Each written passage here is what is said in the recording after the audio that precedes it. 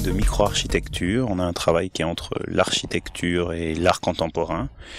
Et c'est né d'une rencontre. Euh, Francesca Bonesio, architecte, et Nicolas Guiraud, photographe. Italie, France. Le projet est vraiment du site du Puy de Servex. Donc parmi les sites qui ont été proposés, on a choisi un qui nous inspirait le plus. Et c'est vraiment la, morphologie de la montagne qui nous a, qui nous a intrigués et qui nous a amené à, à, faire un dessin dessus et à, à faire apparaître ce que nous on voyait dans nos yeux en fait, mais qui était un peu déjà présent à notre avis dans le site. C'est né d'abord de, de, mots, en fait, d'une réflexion sur euh, on a étudié l'Auvergne, la nature en Auvergne, ce genre de choses qu'on ne connaissait absolument pas, on n'avait jamais mis les pieds en Auvergne. Et, d'un coup, par rapport à la richesse du paysage, de l'histoire, du volcanisme éteint, donc euh, quelque chose comme, comme un énorme potentiel présent dans la nature et un côté euh, qui en fait un côté très mystérieux. Nous, on a voulu jouer sur ça et on a voulu se dire au départ, avant même le dessin, avant même le site, on s'est dit quelque part, on veut faire une œuvre où on a l'impression que ce soit déjà là. Pas quelque chose qu'on ait apporté, mais quelque chose qui soit comme si ça émergeait. Et de ces mots, d'un coup, ce site nous plaît plus que les autres.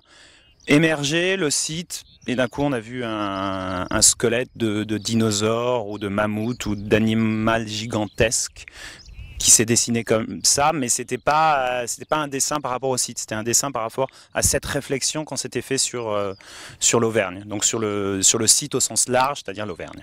Oui, le montage euh, de l'installation même avait disons deux grosses contraintes. Une c'était celle du traçage de l'œuvre sur la montagne, et l'autre c'était la construction pure. Et la phase de traçage était la phase la plus la plus complexe quelque part paradoxalement, euh, parce que euh, ça n'existe pas de, de, de, relevé altimétrique du site euh, pour pouvoir faire un travail classique de, de dessin sur scientifique avec des points tracés, etc. Et donc on a dû avancer de façon très expérimentale. Donc on avait préparé un, un vrai plan de travail très détaillé, même trop détaillé, où chaque personne avait un, un rôle dans ce traçage. Et la clé a été d'avoir une personne en bas qui guidait tous les autres. Et euh, les personnes qui étaient euh, à nous n'avaient presque pas de vision de ce que ce qu'il allait, faisait en fait. Et c'était euh, la seule personne qui avait la vision d'ensemble qui pouvait les guider à se déplacer. c'était la personne en bas qui était à l'occurrence moi.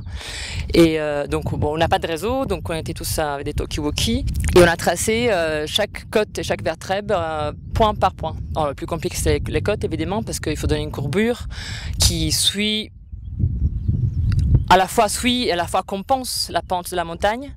Euh, parce que la, montagne a des pentes, des contre-pentes euh, qui euh, euh, qu'on peut pas suivre euh, tout bêtement, sinon les côtes deviennent des zigzags.